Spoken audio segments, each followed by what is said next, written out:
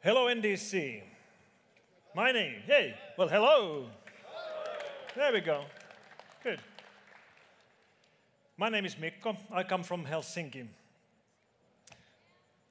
When I was 22 years old, I was a young software developer working for a project for an important customer for a porcelain factory.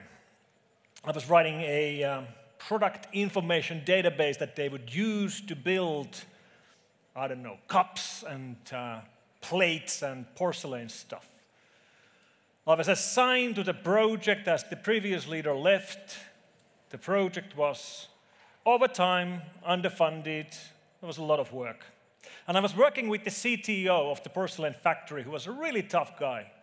He hated that the project was late. He didn't really trust my abilities to make it, make it to the end.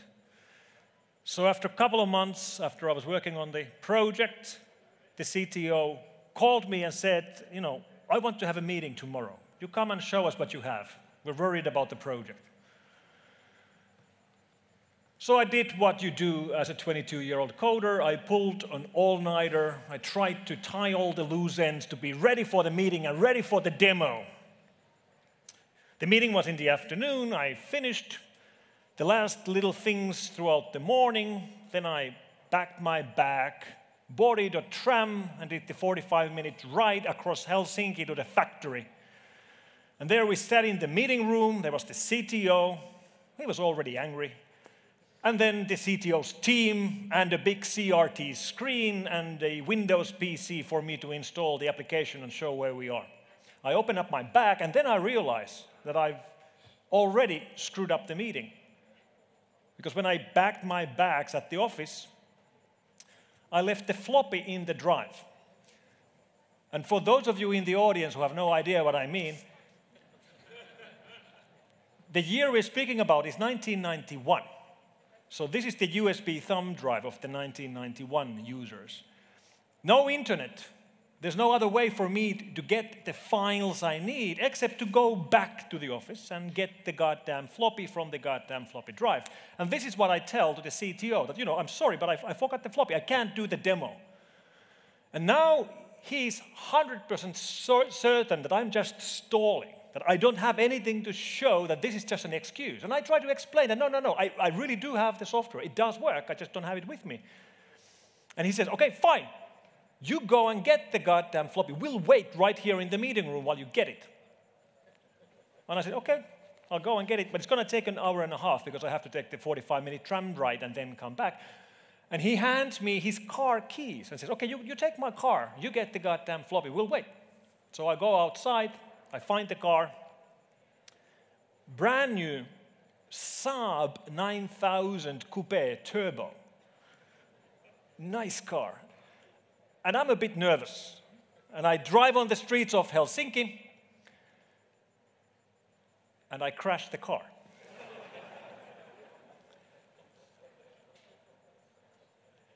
I told this story to a small group of people a couple of years ago, and there was this young lady who, who listened to it. And then she asked me that, holy hell, Mikko, like, how did you ever get another job in the industry after that? And it was really nice that I was able to tell her that, you know what, I didn't. I didn't get another job after that. Because the company where I was working at in 1991 was called Data Fellows which did a lot of different things, but eventually it focused on one thing only, which was security. So much so that eventually the company renamed itself from Data Fellows to F Secure, which is where I still work today, over 30 years later. So I never got another job. I'm still at the same company. And I think it's important to think about our failures because we all have failures. What we do about failures is we learn from them. And I learned a lot from that specific lesson in the very beginning of my career. And through these 30 years, F Secure has become one of the largest security companies from Europe. The whole industry has completely changed. There was no information security or cybersecurity industry back then at all. Now it's a multi billion dollar industry. Our worlds have completely changed. Internet revolution has changed the world more than any other technological revolution in history. The world is changing around us now faster than ever before. For the year, last year and a half, I've been thinking about this a lot because it's been the pandemic, there's been a lot of downtime. I spent the time writing a book. I had a book about the waves of the internet revolution come out last month. I wish you could read this, but you can't because it's in Finnish. Then again, Finnish isn't very hard. I mean, it's true. You come to Helsinki, even small children speak Finnish. How hard could it be? It's going to be released internationally next year. Maybe then it's going to be easier for you to read. But in this book, I, I think a lot about the changes we've seen. What, what really has happened over the last 30 years, and what's going to happen over the next 30 years. And the thing about big technological revolutions is that it's hard to see them when you are in the middle of them. It's hard for us to really understand what's happening around us because we are in the middle of all of this. And it's maybe a bit easier to see all of this if we take a step back and imagine that someone in the far future is writing a history book about our time. Imagine someone living in the year 2500 writing a history book about the early 2000s, about us, about our generations. Well, what's the first thing that he or she would, would mention about us?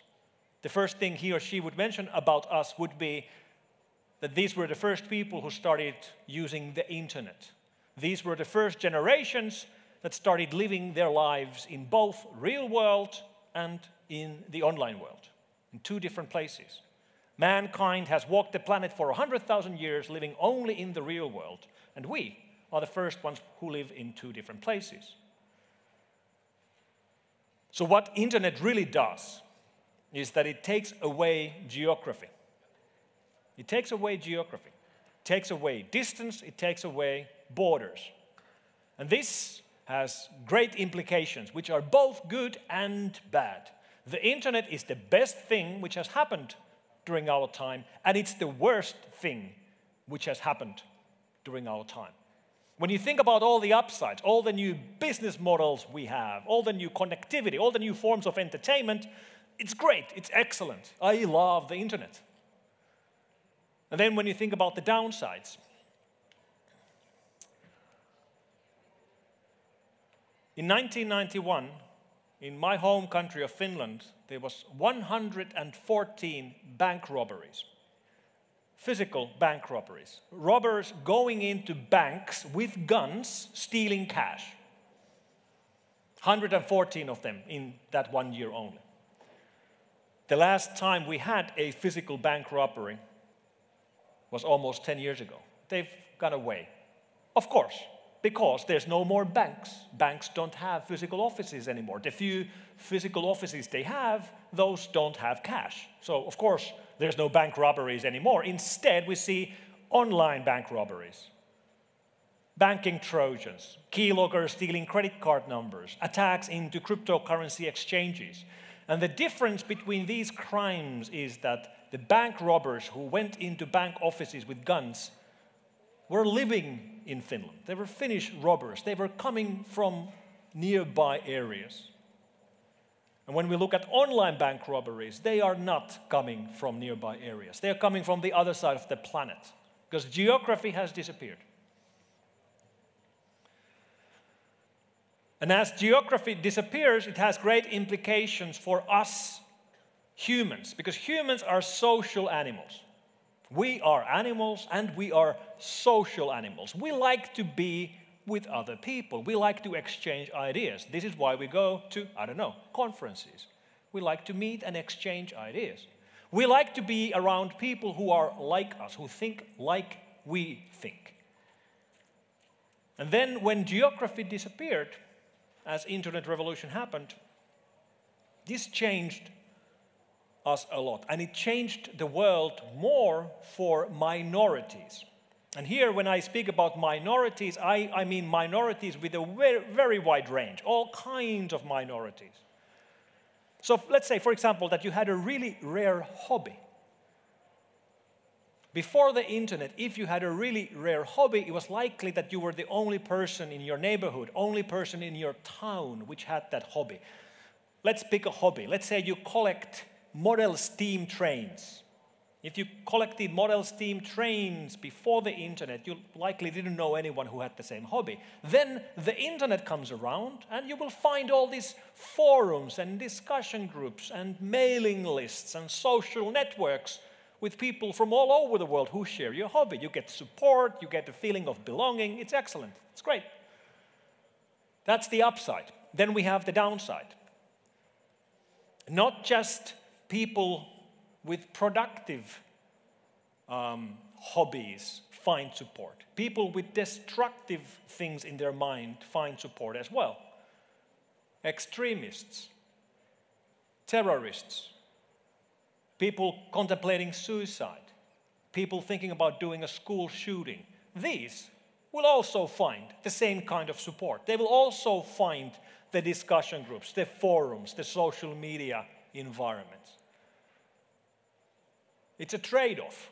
We get great benefits, we get great downsides. We get all of this great connectivity.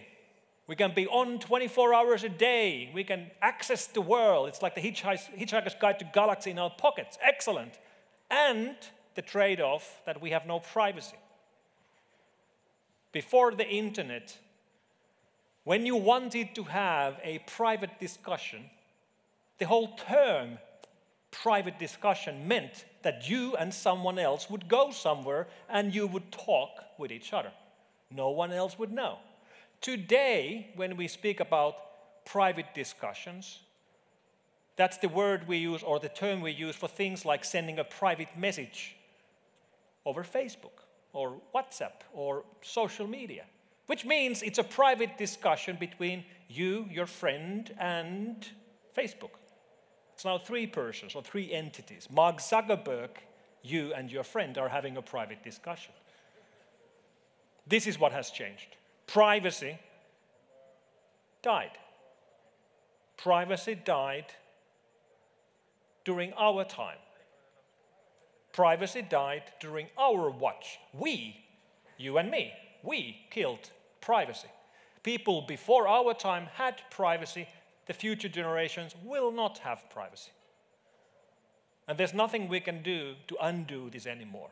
We can't live our lives without technology anymore. When technology is good enough, when it's useful enough, it becomes mandatory. Now, with digital technologies and with the internet, we're not there yet. We're close, but we're not exactly there yet if the internet goes down and stays down, it's pretty bad. It's really expensive. It's pretty painful. It's a massive nuisance, but we will survive. As societies will go on. If, I don't know, all cloud services go down and stay down for years, it's going to be really, really bad. But I don't think people will die, or very few people will die. So we are financially re uh, relying on connectivity like this. But as societies, we're not there yet. If we look at some other technologies, we have become completely reliant on them. And there, a good example is electricity. Electricity and electric grids. And we, we, we think now, nowadays, very easily that electricity has been around forever, and it hasn't. Most countries got their first electricity grids 150 years ago. And 150 years, well, it's a long time, but it's not that a long time to become completely reliant on technology. And of course, today we are, as societies, we can't continue functioning without a functioning electric grid. We need it.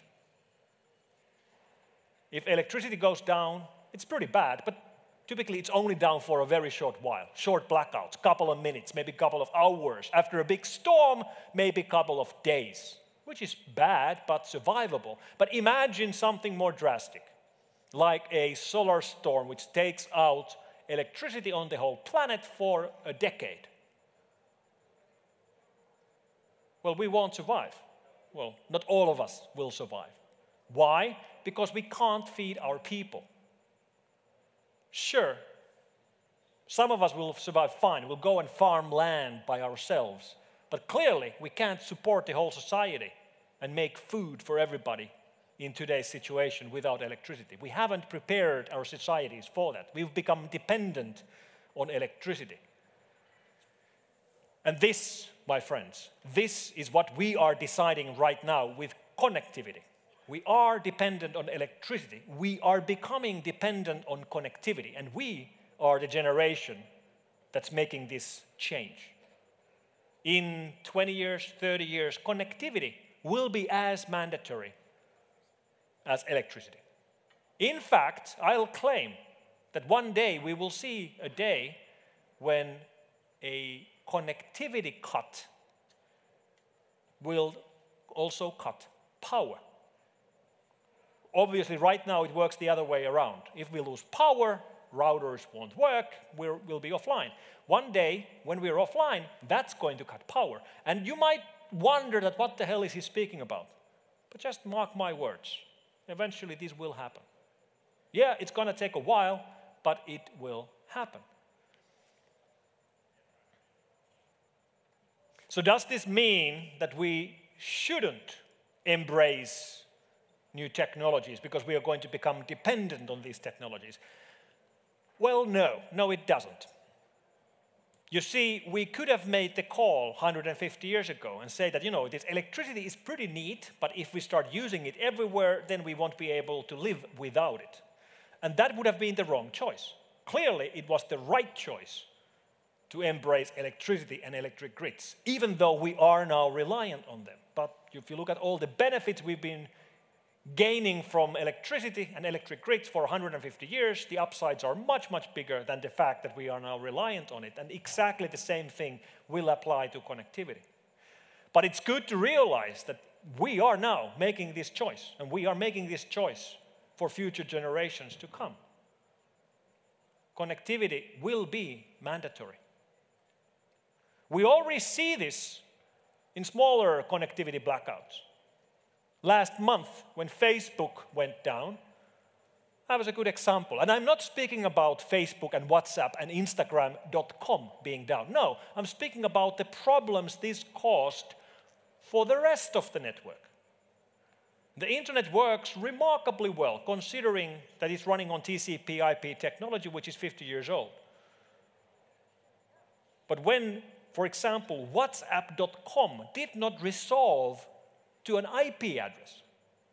That caused massive problems for other services. You see, there's literally billions of phones on this planet with WhatsApp installed.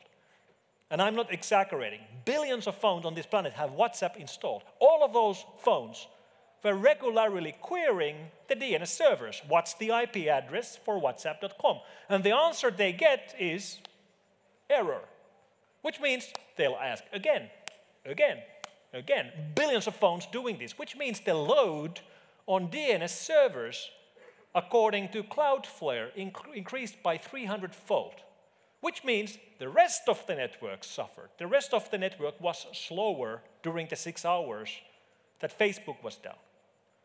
Like Twitter was lower because Facebook was down. It did work, but it was slower. Internet is remarkably durable, but it of, of course can't stand forever. It can't take all the hits, and there are possible attacks which could take it down. The biggest thing, which is, in my opinion, keeping internet up and running is that there's very few attackers which are interested in taking down the internet. I've spent my working career First as a developer, then as a researcher, then as a malware analyst, then as a reverse engineer. But over the last couple of years, I've spent most of my time tracking the online criminal gangs, trying to understand where the attacks are coming from. Who are the people creating the online attacks? Literally, who are they? What's their name? Where do they live? Who are the people in these gangs? What are the motives? What kind of attacks do they do? What kind of malware do they run? What kind of malware campaigns do they operate? How do they recruit? How do they move their money around? Also, what kind of nation state activity do we see? What are the most active intelligence agencies? What do different militaries do? And when I look at the different attackers, I don't see any attacker which would be interested in crashing the internet, like crashing the whole net. You see, criminals don't want to crash the net. That's the last thing they want, because they're making tons and tons of money with online crime. Why would they want to crash the system that makes them all? If the internet is down, they make no money. So criminals are not interested in attacking internet infrastructure itself. Spies or intelligence agencies, same thing. They love the internet. It's the best thing ever for them. You see, before the internet, spying meant collecting information, and information used to be physical. It used to be something you could touch, it, it used to be on paper. So if you wanted to steal this piece of information, you had to go to this paper to steal it or copy it. You had to physically go to it. And of course, now you don't. Because nowadays, all information is data, and you can reach it from anywhere on the planet. They don't want to crash the internet. The only groups that I could imagine which would like to crash the internet would be extremists or terrorists, and they don't seem to have the skills to do it. And these problems don't just apply to our computers. More and more of the things that we operate are something else than traditional computers. And I'm not here only speaking about IoT and, and smart devices, it's a bigger picture than that. Eventually, anything that uses electricity will be online as well. Everything that we plug into the electricity grid will also be in the online grid. And this means that we are forevermore adding complexity to our world. And that's mo most likely the most important lesson I've learned over my 30 years in the business. Complexity is the enemy of security. Complexity is the enemy of security. The more complex our systems are, the harder they are to secure. It's pretty obvious. The more code you have, the more room you have for bugs. The more bugs you have, the more vulnerabilities you have. And if you agree, then the solution should be really easy and really obvious. We should be removing complexity, which means every new version of every software would be simpler and smaller. There's a new update to my app which removes these and these features. Excellent. and as you know, this never happens. In fact, we're doing exactly the opposite. We're adding more code, more functions, more routines, more protocols, more complexity.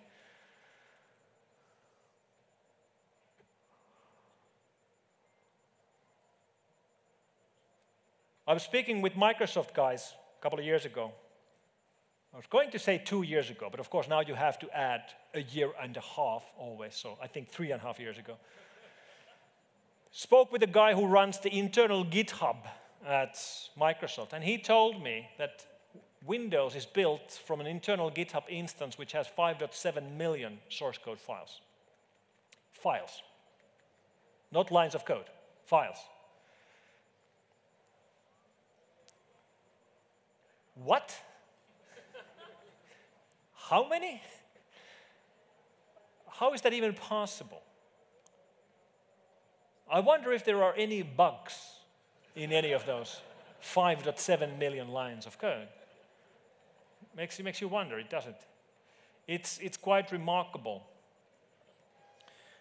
So, 5.7 million source code files is a great example on how we are not reducing complexity. We are adding complexity. And it's not just computers that we are adding this complexity in. Like I said, everything we plug in to electricity grid, we will eventually be plugging into the online grid as well. And I'm nowadays much more worried about stupid devices than smart devices. Yes, I am the father of the Hyppönen law, which says that if it's smart, it's vulnerable. Which is a very simple and a very pessimistic law. But it's also true. As we add functionality and connectivity to existing devices, they become smart devices, which also means they become vulnerable. If you think about a wristwatch, mechanical wristwatch that you have to wind, well, how do you hack that?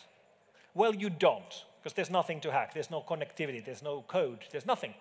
And then you look at a smartwatch, which is online. How do you hack that? Well, there's tons of ways. It might be hard to hack, but of course it is hackable.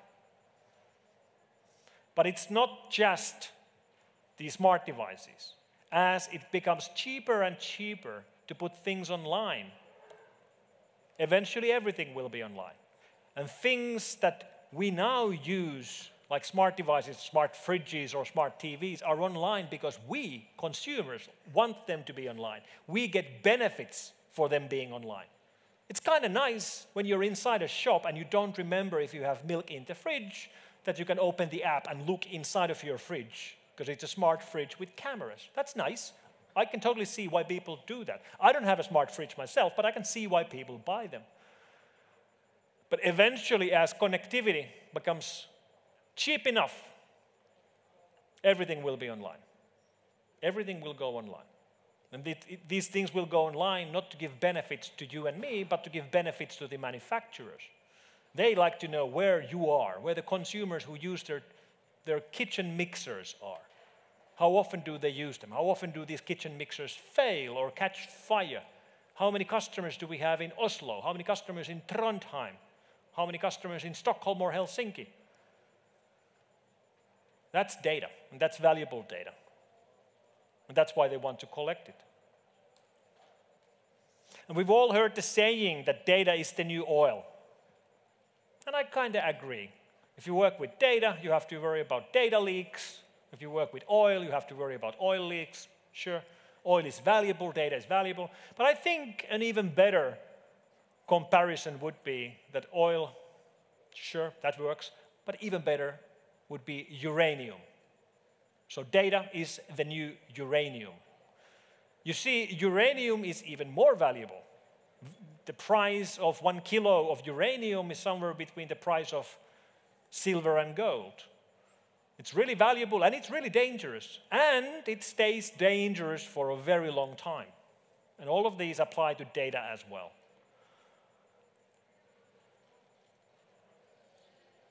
A year ago, we had a really bad security incident in Finland. The single biggest crime in history of my country. 25,000 or 25,500 crime reports were filed with the law enforcement. 25,000 victims. It's hard to imagine a crime which would have 25,000 victims unless it's an online crime. How, how, would you even do a real world crime with 25,000 victims? This is the Vastaamo incident, hack of Finnish private psychology therapy center, where the attacker stole the therapist notes, notes of people speaking with their therapists, speaking about private things, speaking things about how do they really feel about people near them, about their families, their neighbors, their spouses, their bosses, their children. All of these notes were stolen and the attacker was blackmailing the patients that if you don't pay me bitcoins, I'm going to leak these notes to the internet. An unusually cruel and unusually cold attacker. And this is a great example on how data is uranium. Like those therapist notes are the kind of data that we should be able to handle securely keep them available and useful and usable, but keep them secured, encrypted, and backed up for how long?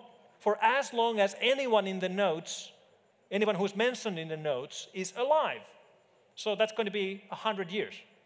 How the hell do we do that? Have we even realized what a challenge it is to keep large amounts of data accessible but secured for 100 years?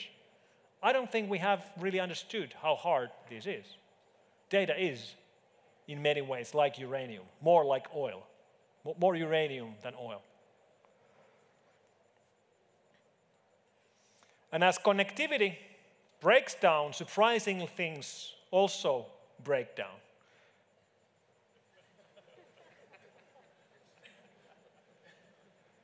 Not just things around our house, but also things like grocery stores around our towns. The supply chain attack that we saw three months ago affecting grocery stores in the Nordics, which were forced to close down their doors until they were forced to open up their doors to let people in to get strawberries for free because it's cheaper to give them out for free than to throw them away. Clearly, pretty expensive attacks, or hardware stores closing down their stores. Why did these kind of things happen? Who, who made the mistake here? Well, these stores did nothing wrong. No, in fact, they had done the smart thing. They had outsourced the part of their security that they couldn't do by themselves. In this case, they had outsourced the security of their cashier systems. They had realized that handling the security of these critical systems is not our core competence. We should leave this to professionals. And they had hired managed security service provider companies to handle that part of their network, which was the right decision, the smart decision. All right? So, what mistake did these managed security service providers, MSSPs, do which caused this? Well, nothing. They were using a factory standard remote management software to manage these cashier systems. And that system got hacked. That system got hacked because they had an unknown vulnerability in their systems.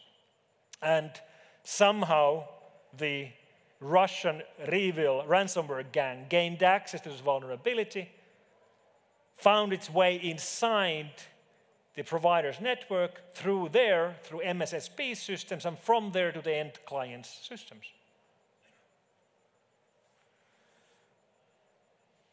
So, how did this Russian gang get this zero day vulnerability, which was used for this attack? Well, we don't actually know, but we do know that vulnerabilities like these are traded in the underground. They're bought and sold in the internet underground, in Tor hidden service forums. They can be pretty expensive, but you can buy them. And price is not a problem. Five years ago, I invented a new term cybercrime unicorns. Yes, cybercrime unicorns. And yes, unicorns here is a reference to unicorn companies, private, unlisted technology companies valued at over a billion dollars in, in value. So, five years ago, I started thinking if we one day will see cybercrime gangs, which should be considered to be unicorns, which would hold wealth of over a billion dollars. And five years ago, this seemed like a bit far fetched, but maybe possible. So we wrote a paper about this. We even did a cartoon about this, like this.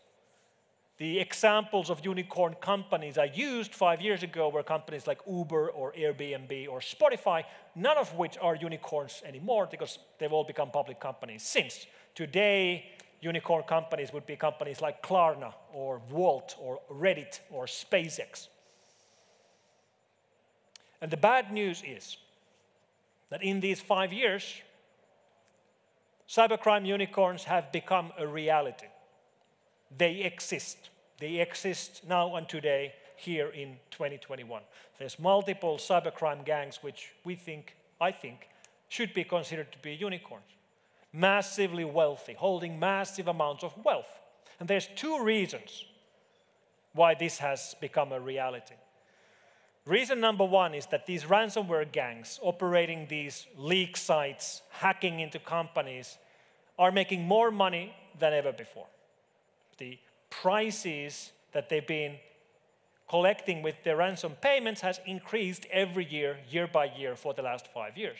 And it's not just ransomware gangs. The amount of money being stolen by BEC attacks, that's business email compromise attacks or CEO attacks, has also been increasing, as well as money made with blackmailing attacks including denial of service, blackmailing attacks. So that's one reason. The money they make has increased, but it doesn't explain unicorns.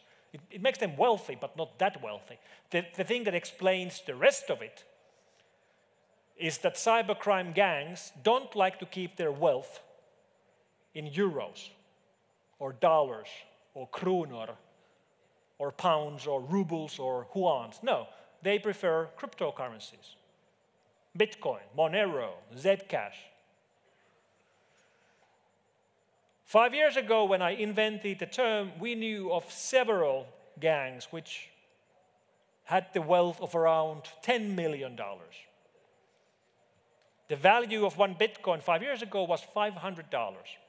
Today, the value of one Bitcoin is $55,000, more than a hundredfold increase, which means all they had to do to become unicorns is nothing. If they had $10 million in Bitcoin five years ago, they have a billion in Bitcoin today. So, what do cybercrime unicorns do with their money? How do they spend their money outside the obvious, which is buying Lamborghinis?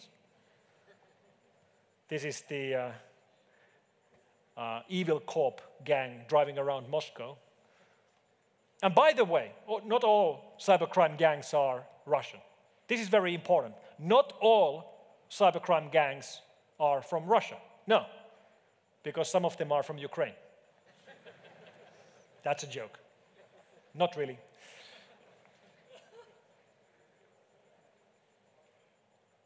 So after they've bought their Lambos, how do they actually invest in their own attacks? Well, they run professional data centers. They run their own support teams. They hire their own management. They start to resemble traditional real world organized crime gangs more and more by structure. They hire lawyers. They seem to be hiring business analysts. Why would a ransomware gang or another type of cybercrime gang hire business analysts? Well, this makes perfect sense. One of the big challenges ransomware gangs have been having is that how big a ransom should we be asking from this company? And this has been problematic for them because we've seen them really go haywire. They, they hack some hospital and then they ask for millions of euros in ransom, which clearly the hospital can never pay. And then they hack some, I don't know, enterprise publicly listed, massively big company and ask for 100,000 when they clearly could have asked for much more. So the solution is hire business analysts, steal bookkeeping files. The first thing they do is that they go through financial records. And a business analyst working for a cybercrime gang can tell exactly how much they should be asking. Like, here's how much cash they have, short term loans, financing. We should be asking this company for two million $152,000. That's what they can pay us tomorrow. Which makes negotiations with these gangs much, much harder. And by the way, there are professional hostage ransomware negotiators which do this. They negotiate the ransoms with these gangs.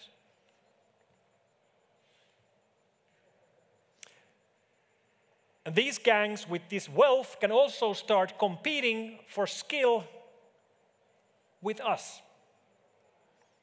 The main reason, in my opinion, why most of the cybercrime attacks have been coming from, from more or less developing countries is that when you have a combination of people with skill but with no opportunities, you end up with criminals. This is a bad combination. People with skills but without opportunities end up in the life of crime if the easiest way for you to make a lot of money is to go into life of crime, that's what you do. And that's not the easiest thing to make a lot of money for people living in, in the West. Like if you are a developer, if you know networking, if you know protocols, if you know full stack, you can get a really nice job without breaking the law. And it's not nice to break the law. It's much, much nicer living legally. You don't have to watch behind your back all the time. However, if you have the same skill set and you're living somewhere in the middle of Siberia or countryside of China or slums of Sao Paulo, the easiest way for you to make a lot of money is to go into life of crime. And now, as we are fighting gangs which have more and more money, they can start fighting for skill set with salaries. And I'm not just suggesting that they would try to hire professional developers that, you know, come to the dark side, we'll double your salary kind of idea. What we're seeing is, is this. This is the website of a security company called Bastion Secure, a penetration testing company hiring pen testers globally, looking for top skill, paying very generous salaries, and supporting remote work. All workers are remote. You join this company, you get a briefing, you get joined into the company, and then your job is to do penetration testing. This company has ordered a penetration test from us. Please try breaking into their network and then write a report on how you got in. And as you might guess, Bastion Secure doesn't exist. It's not a real company. This is the Fin7 Russian cybercrime gang using a front end to hire pen testers or technical experts, hoping that they don't realize that they're not really working for a security company, but they're working for a Russian organized crime gang.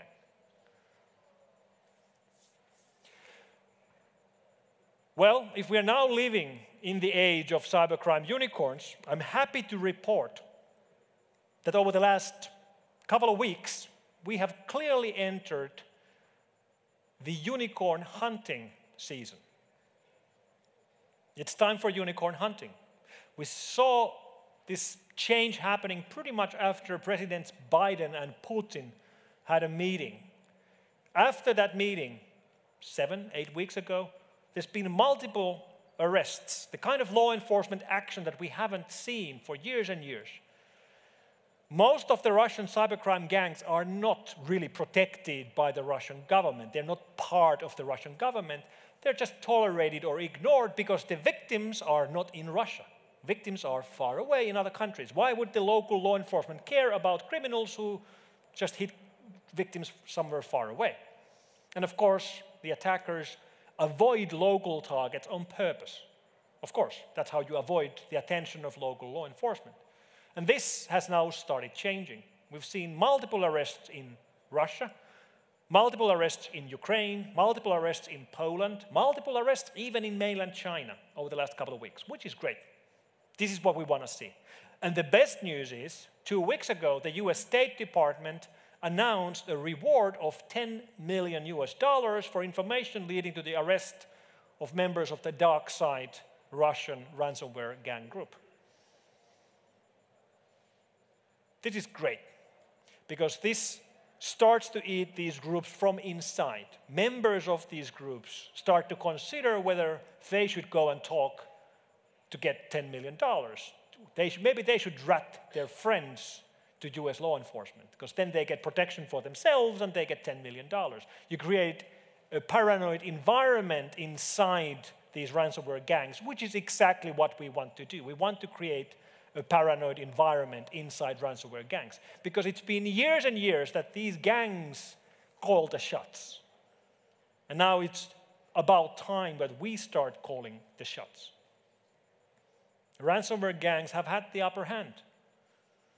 They've been building a brand for almost 10 years. The first Bitcoin ransomware attack started eight years ago.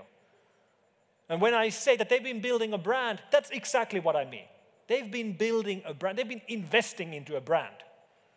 This is why you know groups like Revil or DarkSide by name. Some of you know Ryuk or Conti or Clop. They have names, they have logos, they have websites, they give interviews to newspapers because they need a brand.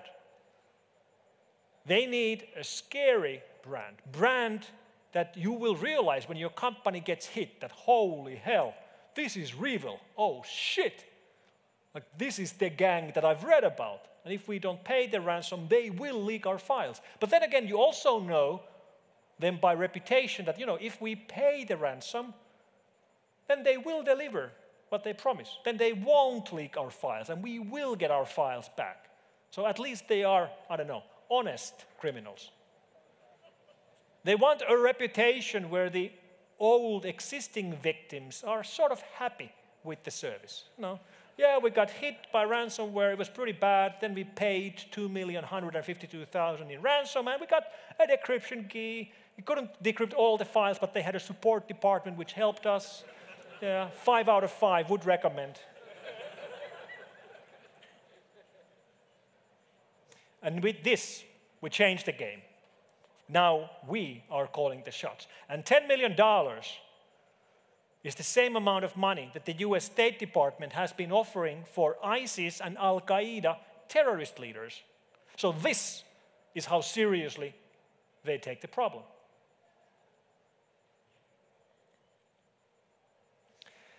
Now, outside of criminal gangs, I also mentioned nation states, intelligence agencies, and militaries, and that is another problem altogether. You see, when we shift our attention from groups that are trying to make money into groups that are not trying to make money, everything changes. And by the way, take a look at these guys march. I've seen the Norwegian army march. It doesn't look like this. It doesn't look like this at all. So, as governments enter the picture, the game rules change. They're not trying to make money. They are either trying to do spying or intelligence gathering, or they're trying to do sabotage. The word we always hear when we speak about governmental attacks is cyber war. Cyber war. Cyber war is picking up. Cyber weapons are everywhere. And the fact is, most of these attacks have nothing to do with war. In fact, most of them are about intelligence gathering or sabotage, such as the attacks we saw the Russian government do against this building right here in The Hague. This is the headquarters of the Organization for the Prohibition of Chemical Weapons, which a group of Russian governmental officers were trying to hack from their car parked outside of this building by trying to access the Wi Fi network. On the next week, after the Skripal poisoning incident in the United Kingdom, as the samples of the poison were being analyzed inside of this building. That kind of attacks. Is that war? No. That's either governmental sabotage or governmental spying.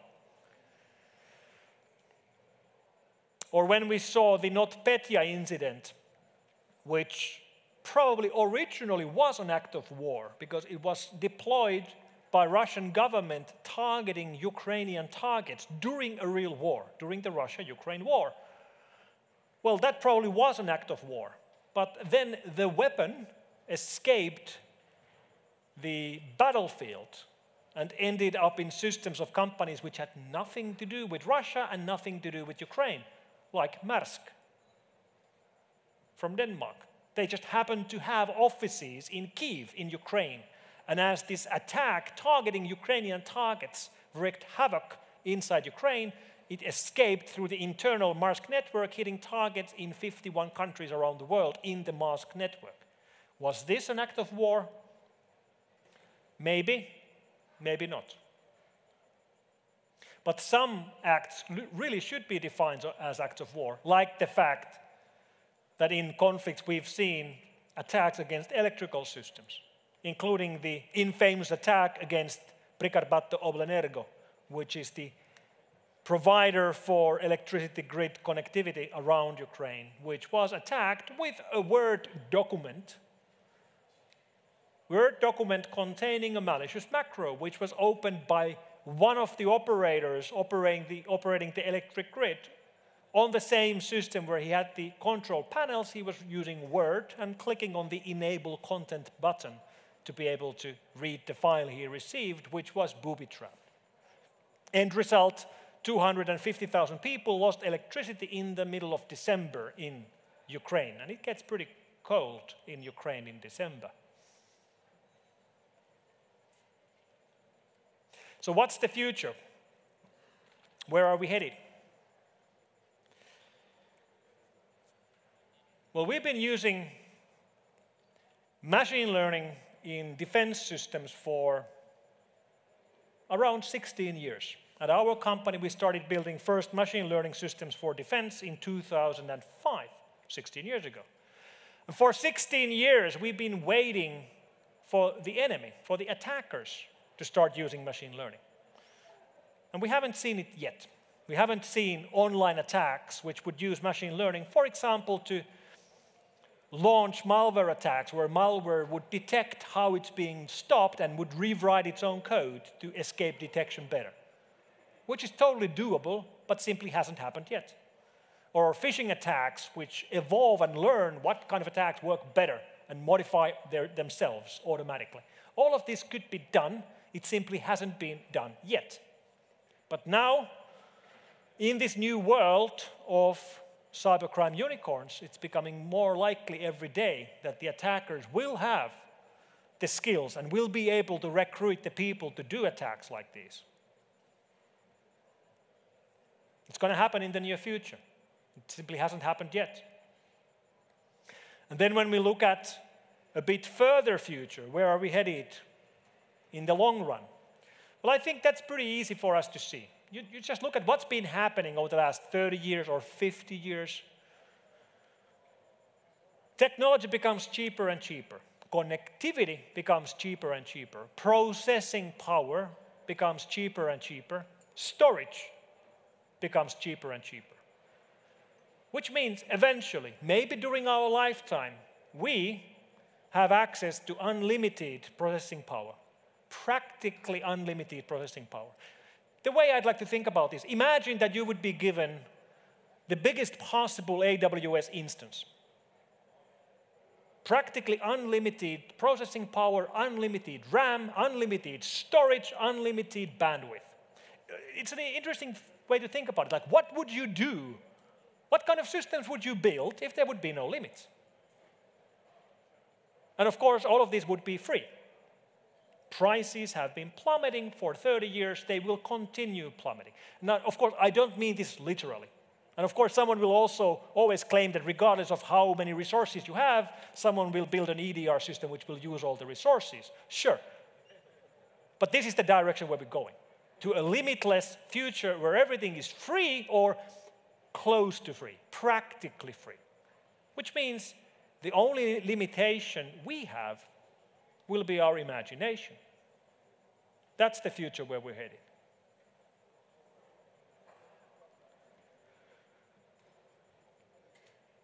So, what happened with the porcelain factory and with the Saab I crashed? Well, I went back to the meeting, it didn't go well. But the project finished, and it finished on time, and the factory started using the database application I built for them. The last time I was in contact with the factory was in 2012, nine years ago. They were still using the application. I haven't dared to be in touch with them since. I hope they're not using it anymore. And the security situation around us might look grim but it's mostly looking grim because we only see the failures. There's tons of success stories all around us. We just don't hear about them. Heroic IT departments which patch just in time to prevent an attacker from gaining access, or group of security experts seeing a breach and kicking out the attacker just in time. And when that happens, that means that there won't be any headlines. No one will know. Successes are invisible.